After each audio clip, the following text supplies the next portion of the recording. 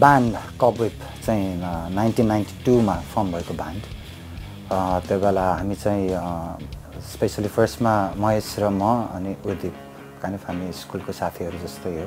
है स्कुलमा नै पढ्दै फर्म भएको ब्यान्ड कहाँ पाइन्छ र? आज बिति गयो हेर अनि त्यो बेला काम गर्न त अब धेरै गाह्रो ब्यान्ड चाहिँ यो हामी एकदम प्रोफेसनली लाग्छु भन्ने चाहिँ गरेको काम होइन फर्स्टमा है। इन्ट्रेस्ट भएर गरेको। त्यो बेला त थाहा थिएन सिक्ने ठाउँ पनि थिएन। र हामीले चाहिँ तै पनि एउटा एल्बम अन्जान त्यो चाहिँ निलेश त्यसपछि आएर हाम्रो पवन उहाँहरूसँग चाहिँ काम गऱ्यौँ ल फर्स्ट हामीले मिलेर कवेबले मिलेर निकालेको एल्बम फर्स्ट एल्बम अन्जान नै भन्नुपर्छ।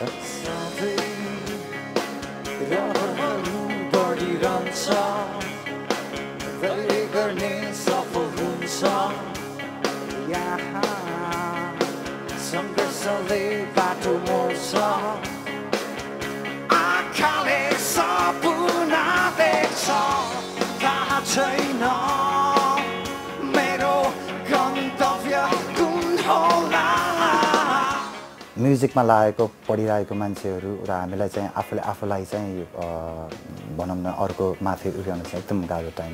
एउटा हाम्रो गेटअपलाई चाहिँ केटाहरू भर्खर केटाहरू के गरी हिँडेछ? कपाल लामो हुन्थ्यो मुन्द्रा हुन्थ्यो कानमा है? अब हामीले चाहिँ खासै बदमास त होइन तर आफूलाई मनपर्ने भएर सबै चिज गएको हो है? तर त्यो त्यो चिज चाहिँ एक्सप्लेन गर्न चाहिँ हामीलाई धेरै टाइम लाग्यो तर अहिले त त्यो प्रब्लम छैन। सुख खोज्दा खोज्दै हाँस्नु नै बिर्सेछु म हितैसी धेरै छन् यहाँ रुने छैन कोही मृत्युमा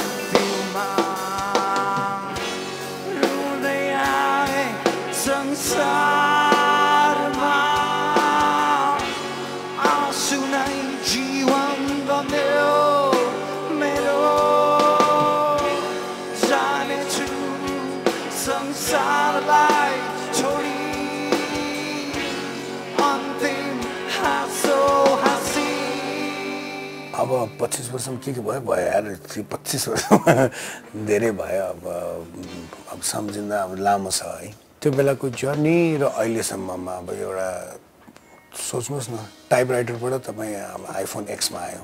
अब चेन्जेस धेरै आयो ब्यान्ड मेम्बरहरू पनि बदलियो अलिकति है। पुरानोहरूले अब सकेसम्म त कन्टिन्यू गरिरहेको थियो अब नसकेर सो स्टप गर्नु पऱ्यो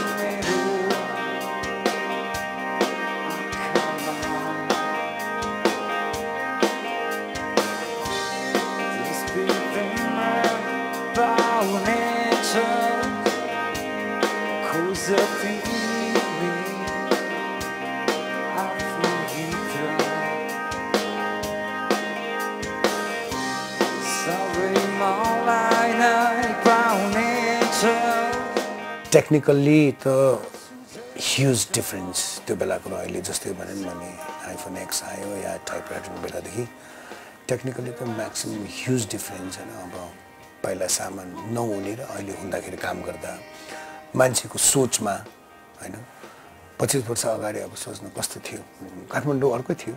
काठमाडौँ नेपालै भनौँ। अर्कै थियो। क्या आनन्द थियो? धुलो धुवा थिएन। है म्युजिक सिनारी एकदम राम्रो थियो। अप्रिसिएट गर्थ्यो सबैले म्युजिकलाई मनदेखिमा अहिले पनि मान्छ नमाने तर त्यो बेलाको त्यो मनमै अर्को त्यो मान्छेले वाह ब्यान्ड मेम्बर भन्दाखेरि मजा लाग्ने छ नि। सुझेछ बिसाउँदा मोटु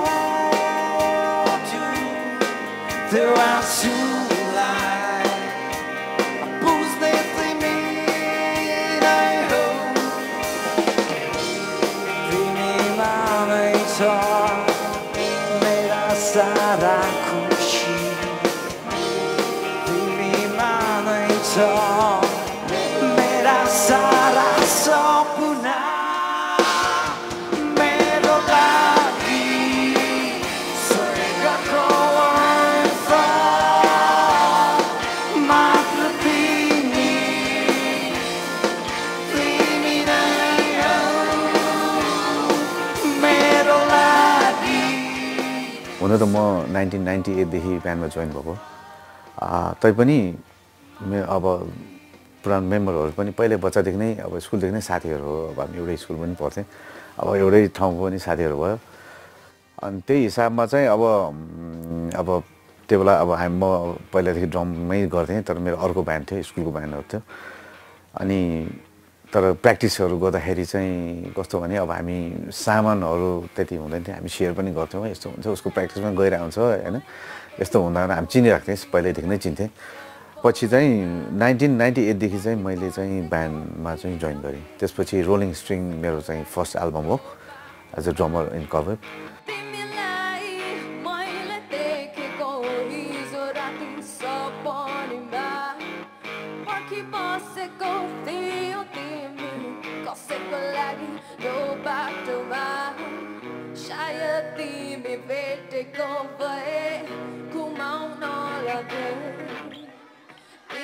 तिमीलाई मर्सिडिज बेन्जमा कप वेबकै कुरा गर्दाखेरि त लाइक अब नेपालमा फर्स्ट रक ब्यान्ड चिनाउने ब्यान्डै हो। अब अस्ति भर्खरै twenty five years anniversary celebrate गरेको हामीसँग होइन ब्यान्ड स्टार्ट हुँदा त म भर्खर कति तिन चार वर्षको थियो होला। अब त्यो बेला त्यो बेला त सुनेको पनि थिएन। अझ अलिक ठुलो भएपछि स्कुल पढ्ने टाइम सुनेको। फलो गर्थेँ कप वेब पहिला पनि अब अब ब्यान्ड भर्खर हामीले फर्म गर्दाखेरि कप वेबकै गीत हामीले कभर गर्थ्यौँ क्या मर्सिडिज बेन्ज यताउता होइन?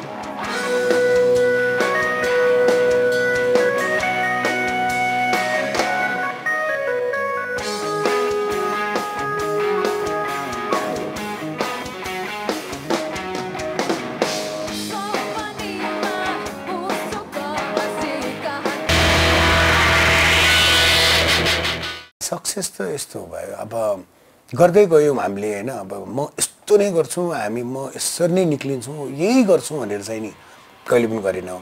फर्स्ट एल्बम गर्दाखेरि फर्स्ट एल्बम त्यति चलेन पनि। किन भन्दा त्यो बेलामा हामी अलि हार्ड रक नै थियो अलिकति माथि नै थियो।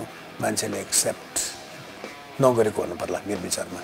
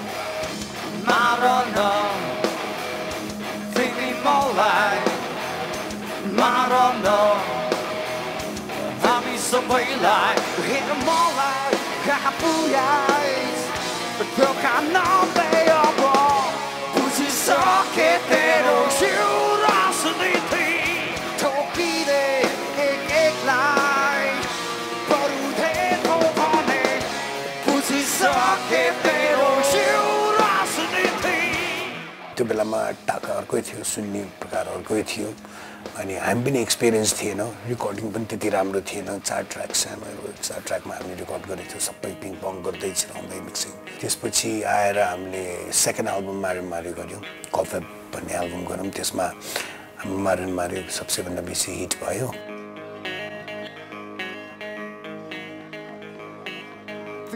भन्छौ भने आकाशको तारा। टिपेर चुल्ठोमा लगाइदिउला हुन्छ भनी हेर तिमीलाई यो सुम्पिदिउला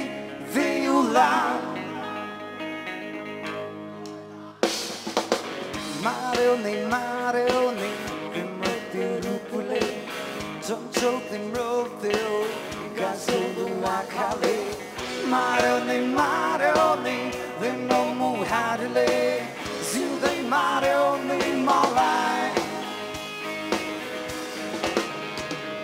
सो त्यसरी नै दोस्रो तेस्रो चौथो हामीले एल्बम गर्दै लग्यौँ त्यो सबै एल्बममा चाहिँ नि हामीले अडियन्सबाट चाहिँ सपोर्ट पायौँ कि मेन कुरा।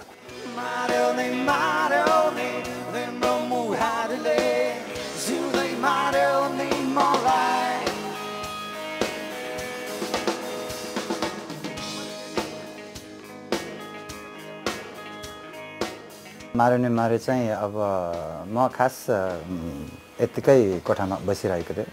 काइन्ड अफ एउटा भनौँ न ब्लकहरूको काम अनि यो के भन्छ रिफिङहरूको काम यो अलिकति गीतमा काम लाग्छ कि भनेर चाहिँ वर्कआउट गर्दै थिएँ। त्यही बेला साथी आएको उर्दित जोशी। ऊ आयो अनि उसले चाहिँ ऊ आउने बित्तिकै मैले उसलाई चाहिँ के रिक्वेस्ट गरेको थिएँ यार एउटा टुन ट्युन चाहिँ निस्किरहेको छ। मलाई चाहिँ एकदम मन परिरहेछ त्यसको गीत। वर्ड छ केही छ उसले मलाई एकदमै चाँडै नै लिरिक दिइहाल्यो कि काइन्ड अफ त्यो चाहिँ के भयो भने विदिन दुई तिन मिनटमा होला उसले मलाई सबै त्यो लिरिक पनि तयार भयो। है उसले चाहिँ कसरी लेखेको रहेछ भने चाहिँ एक दिन अगाडिको इन्सिडेन्ट्स रहेछ। कोही काहीँ जाँदाखेरि उसलाई अब केटी जिस्काएर हो उसलाई गाली गरे रहेछ। एकदमै है। त्यसको बारे चाहिँ लेखिरहेको गाना रहेछ त्यो। तर ठिक भयो। आयो उसले मलाई त्यो कम्पोजिसन दियो र त्यो वर्ड मजाले सिङ्क भयो भनौँ न। अनि त्यही भएर पनि हामीले भनौँ न एउटा सिम्पल सफ्ट रक चाहिँ मार्केटमा उतार्न सक्षम भयौँ। तिमी भन्छौ भने आकाशको तारा टिपेर लगाइदिउला। हुन्छ हेर तिमीलाई यो मन सुम्पिदिउला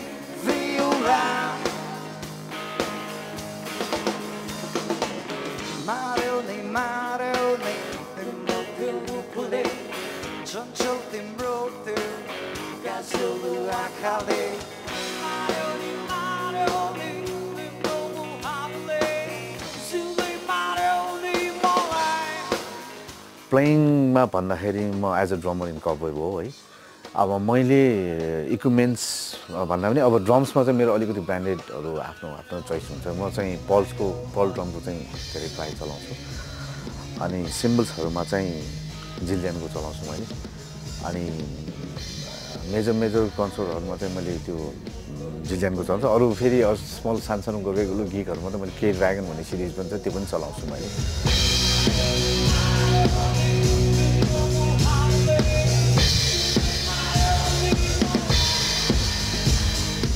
खासमा दाइलाई त मैले पहिलेदेखि मेरो छुट्टै ब्यान्ड पनि थियो के थमेनमा हामी यतिकै बसेर थियो साथीभाइहरूसँग चिन्जान भइरहेको थियो दाइहरूसँग अब त्यो अब हाम्रो सो नहुँदाखेरि दाइहरूको हेर्न गइरहन्थ्यो। तर चिन्जान हुन्थ्यो पहिलेदेखि चिनिरहेको पछि अनि त्यसपछि मलाई निलेश दाइले एकचोटि फोन गर्नुभयो।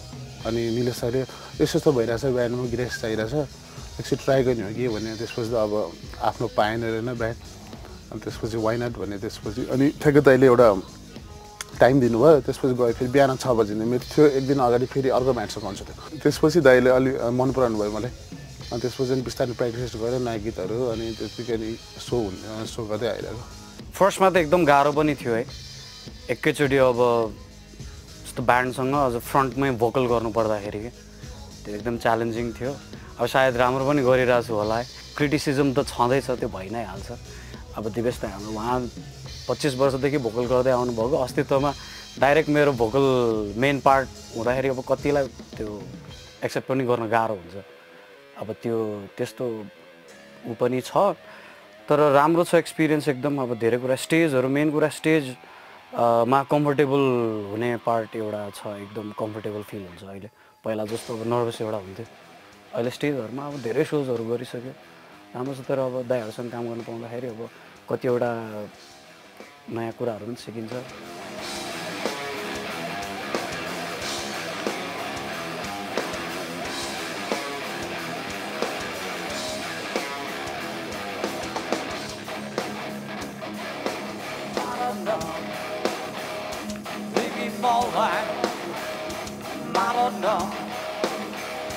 हामी सबैलाई मारन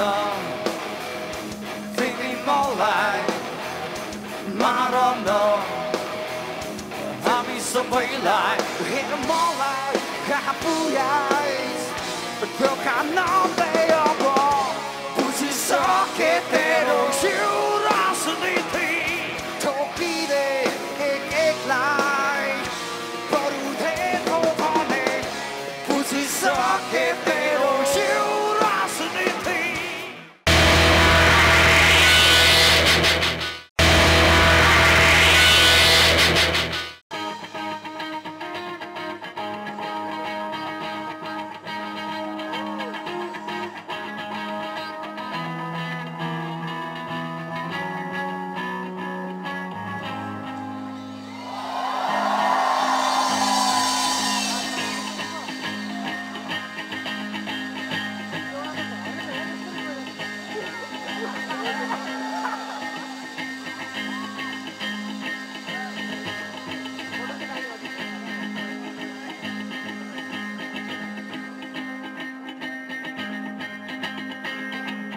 हिँड्छु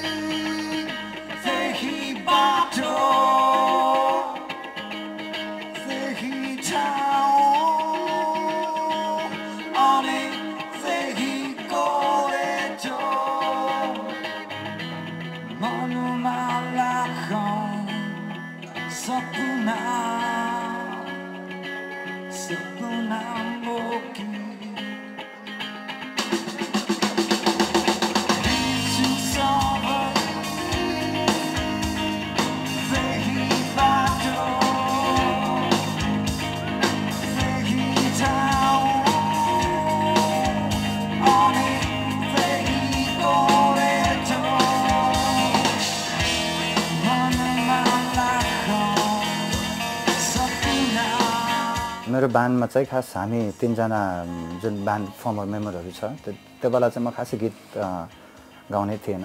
भनौँ न मलाई चाहिँ बजाउन गिटार बजाउनु चाहिँ एकदम इन्ट्रेस्ट मलाई चाहिँ अब ब्यान्डैको मेम्बरले भनौँ न जबरजस्ती भोकलिस्ट बनाइदियो अब अब अहिले पछि चाहिँ के मलाई भयो भने मैले पाँच छवटा एल्बम सातवटा एल्बम त म आफू एक्लै नै फ्रन्ट ब्यान्ड भएर नै गरेँ हो सबै।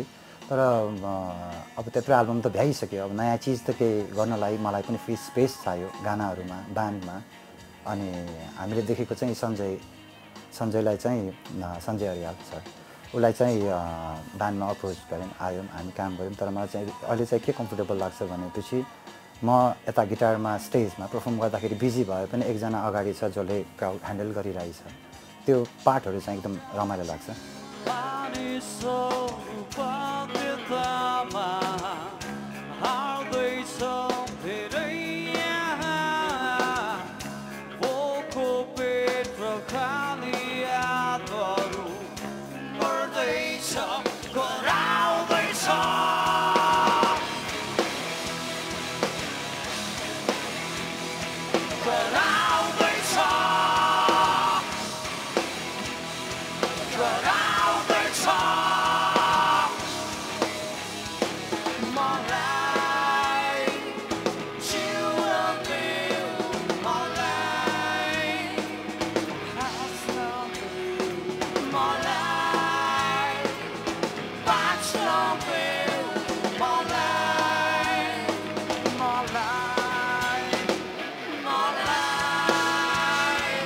पच्चिस वर्ष भने इट्स अ बिग थिङ है ट्वेन्टी फाइभ इयर्स हुन त म थिएन म चाहिँ फाइभ इयर्स मात्रै भएँ।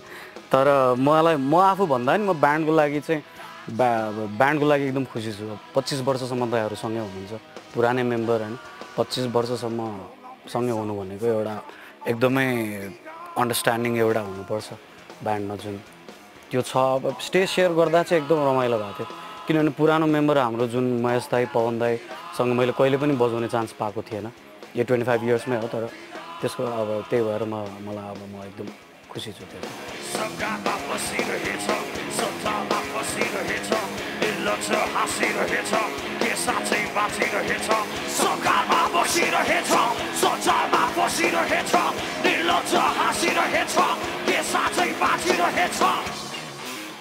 मेरो चाहिँ पहिल्यैदेखि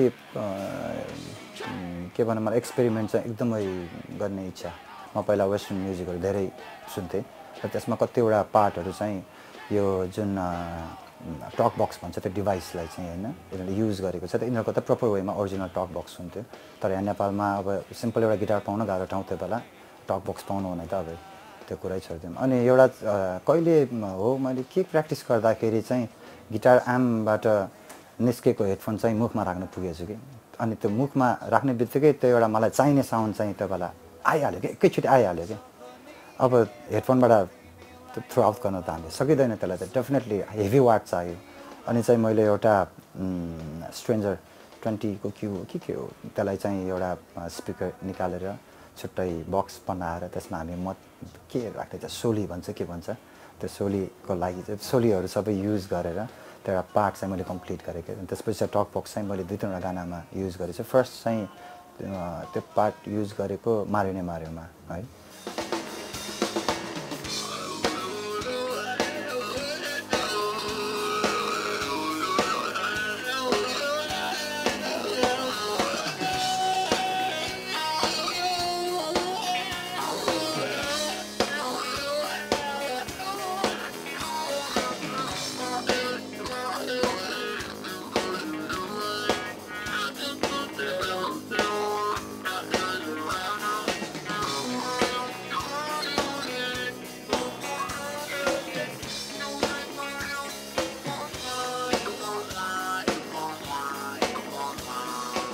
ब्यान्ड जोइन गरेपछि काम गर्न मौका पाएको एल्बम चाहिँ अस्तित्व नै हो। अनि पहिला पहिला अरू ब्यान्ड्सहरू पनि काम गरेँ तर योपालि चाहिँ अलिक डिफ्रेन्ट एक्सपिरियन्स भयो दाइहरूसँग। अस्ति जस अनि मेरो पार्टहरू पनि टन्नै थियो। मैले मेरो च्यालेन्जिङ पनि भइरहेको थियो मलाई।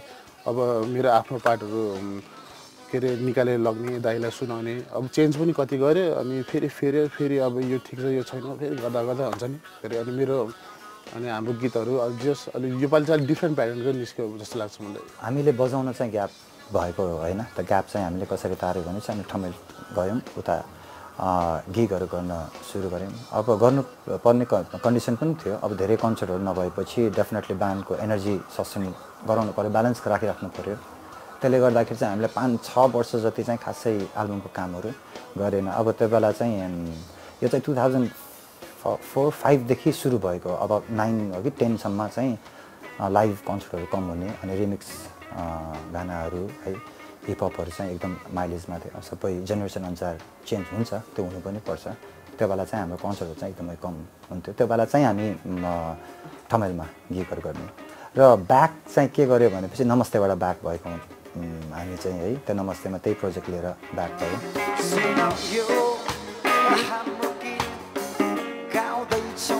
सबैलाई मनदेखि धेरै धेरै न्यानो माया तिमीलाई सुन यो हाम्रो गीत गाउँदैछौँ सबैलाई मनदेखि धेरै धेरै न्यानो माया तिमीलाई नमस्ते नमस्ते सबैलाई नमस्ते नमस्ते नमस्ते सबैलाई नमस्ते नमस्ते नमस्ते। सबैलाई नमस्ते। बाहिर गीत गर्दा त रमाइलै हुन्छ एउटा भनौँ न यसरी वेलकम गर्छ कि अब रमाइलो एकदम है। साँच्चैकै है हामी आर्टिस्ट जस्तो पनि फिल हुन्छ धेरै ठाउँमा। एउटा मात्र मलाई खास न चित्त नबुझ्ने पार्ट चाहिँ सबै त्यो जातीय समाज बनाएछ क्या है। अब हामी जाँदाखेरि पनि अब म केही म केही नेवार हो भने चाहिँ अरू जातको मान्छेहरू कन्सर्टमा आइदिनेहरू त्योहरू चिज चाहिँ पाराहरू रहेछ। मैले त चाहिँ बुझेको देखिएको पनि छु। र त्यो चाहिँ नभइदिए भए झनै राम्रो हुन्थ्यो कि। कभर मेरो लागि एउटा आफ्नोलाई मेरो लागि प्रेरणा हो। कभर मेरो स्ट्रेन्थ हो। कभर मेरो पहिचान हो। होइन? जसले प्रायःले आफ्नो बुवाको उसको छोरा भनेर चिन्छ। फ्यामिलीको नामबाट चिन्छ। मलाई पनि चिन्छ तर बेसी चाहिँ मलाई कभर भनेर चिन्छ। कभरको बेसिस भनेर चिन्छ कभर भनेर चिन्छ। सो यही नै मेरो मेरो लागि स्ट्रेन्थ हो। मेरो भनौँ मैले रेस्पेक्ट गर्ने मैले मैले जिन्दगीमा मैले पाएको र मलाई जिन्दगीले दिएको सबै ब्यान्डले हो। यो ब्यान्ड अब यसरी बनाऊँ कि म रहोस् नरहोस् दिवेश दाई रहोस् नरहोस् हामी दुईजना भन्छौँ यो ब्यान्ड रहन्छ भनेर क्या। अब आएर जस्तै सञ्जय भोकलमा नि कुनै दिन त ऊ माथि आउँछ नि। भनौँ न गिटारमा ऊ आयो नि कुनै दिन ऊ पनि माथि आउँछ नि। हामी पुरानो रहोस् नहोस् उनीहरूले चलाउँछ क्या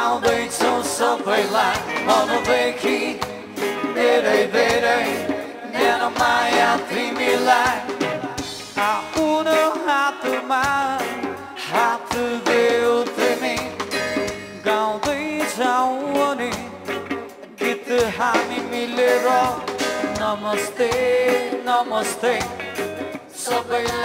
Namaste Namaste, Namaste namaste.